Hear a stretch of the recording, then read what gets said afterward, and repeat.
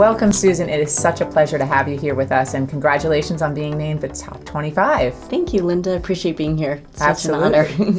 so let's start from the beginning and tell us a little bit about the company that you run and the services that you provide. Yeah, absolutely. So my company's Social Media Link, and we focus on influencer and advocacy marketing. I think influencer marketing has grown in the past year. We really specialize on engaging with consumers, that one-to-one connection.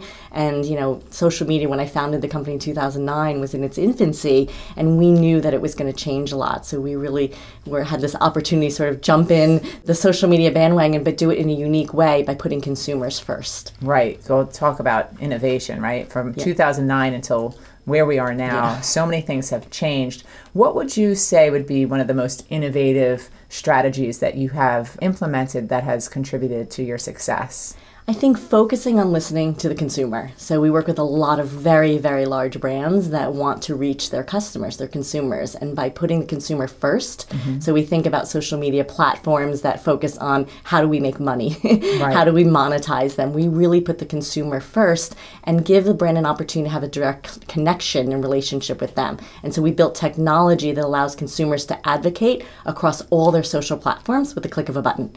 And so if you have a large brand like Snuggle Fabric Softener and they have a huge sort of cult like following, Snuggle can come to our platform, create an environment where all of those followers and those people within their community can talk about their brand to their friends and followers. It's that peer to peer recommendation.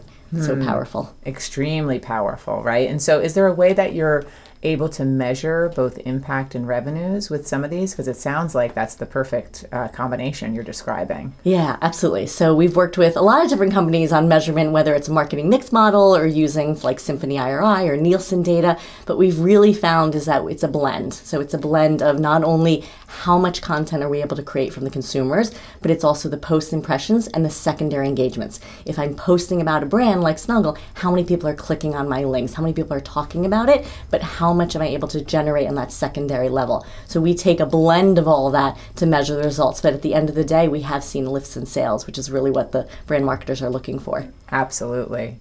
So let's shift gears a little bit because some of the, the companies that you're talking about are big companies. Is there mm-hmm. advice that you could give? to any entrepreneur who's in business or even corporate marketers, right? Um, what, what is your top three key points that you would advise? Yeah, I think when it comes to running a business, so whether it's somebody within a company or you know, or, or an entrepreneur starting out, is ask for help. That's mm-hmm. the one thing I didn't know. You know, when I launched the business, it was like I have to do all of this on my own, and that's just not a reality. And and the best and most successful business people and entrepreneurs are those that have asked for help. So I think mm-hmm. that's that's a key thing. I think the authenticity, stay true to yourself. I think that's really important. Um, my values and and what I believe in um, is exuded through my work, but I hire people that sort of share in those values. So that authenticity, I think, is important. And then fight for what you believe in. You're going to get a ton of no's along the way. Mm-hmm. And if you really believe in something, um, fight for it, but prove it out. You know, do the work that it takes to, to actually get it done. Right. I, I can empathize with what you're saying because as an entrepreneur, you really have to commit with every mm-hmm. fiber of your yes. being, right? And if you mm-hmm. didn't, somebody yeah. might sway you off path, right? Yeah. And I think that's challenging. We work with so many big brand marketers and they get sort of caught in sort of the rut. And I think the ones that I connect with most in these huge corporations are the ones that are saying, no, I want to do it different. Mm-hmm. How do I make that happen? You know, you made that happen sort of when you started your company. I'm like, you can. You actually can. You can make a change within a big corporation using those same same three pointers. Absolutely. So, in terms of your um, advocacy for women work or community involvement, you want to share with us some other ways that you have stepped into bigger possibilities through those areas. Yeah, absolutely. I love mentoring young women. I think that was what I was missing most, um, mm-hmm. um, sort of growing up. I didn't even know there was sort of an opportunity for that. So I think that is something that's really important to me. So I joined the board of University of Delaware, my alma mater, and I'm on the Horn Entrepreneurship Program board of directors. And there I run and help with their mentorship program for young women. And it's an incredible program that's just giving resources to entrepreneurs no matter what your degree or area of study is. Mm-hmm. Because in, in the end of the day, even if you're doing physical therapy, the end of the day you're running a company or a business.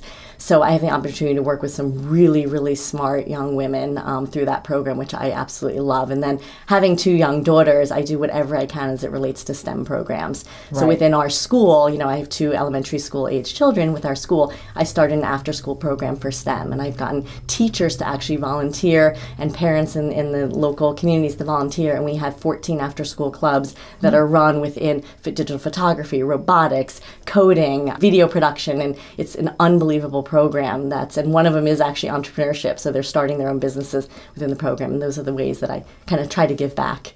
So how can others get involved in that? That sounds like I have young kids myself. I, how do I sign them up? it's great. Yeah, we just created this after school club. Now the program's so big, we're actually paying the teachers, which is great.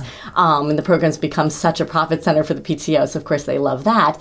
But um, really, it was just surveying the teachers and understanding. I had no idea how many had run their own businesses, had worked in sort of entrepreneurial environments, or had other hobbies in the digital tech world. And so it was really exciting when I did the survey to find out out how many resources we had in our own community. And of course, they want to give back also. So we just created a curriculum and had students sign up, and it was overwhelming. We had to turn a lot of students away in the first program. And then after that, we do three semesters a year. This is the second year of the program. It's become really, really successful. There's other schools modeling it in our town.